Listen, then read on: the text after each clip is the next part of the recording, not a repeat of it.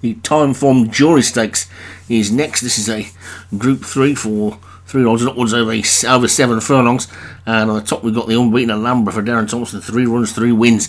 Nagano Duke for Vinnie Gerard, Avalanche Craig Allen, Frontline Steve C, Geldo, Darren Thompson, Lechan Colonel Vinnie Gerard, Minzal David Julio, Vita Blur, Dan Hughes, Rocket Man, Joshua Sutherland with the Moors, Leon Van Rensburg's Alta Wheeler Tail for James Shea, Belter Frenzy, Leon Van Rensburg, Kate Marino, David Robertson, Twirly, James Shea, and One Division for Padraig Hogan. So 15 then in this one. Seven furlong the trip, and all quietly installed and ready to go.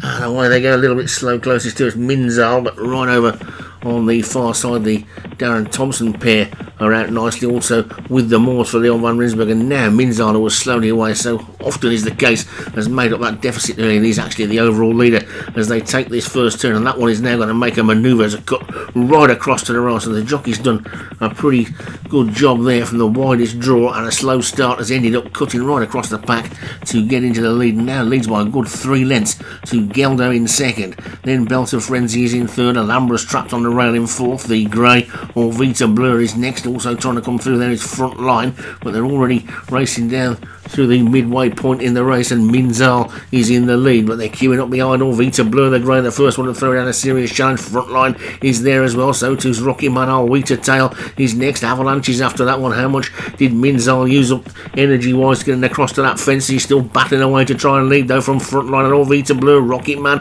and then Camp Marino, one division. Avalanche is trying to come into it, so is with them more. And Alwita Tail, Geldo, twirling. is going to have to work miracles to get out from inside that pocket to continue with their unbeaten run. They're inside the final furlong, and it's all Vita Blur in the lead. Minzal, Kate Marino, one division and front line. They're this near side. Minzal is battling away again, though. One division, Minzal with the Moors rocking man. Alhambra's now going to clear run through, but not going to get there in time. And I think it was Kate Marino that took it on the line. Another close finish, and it was mighty close.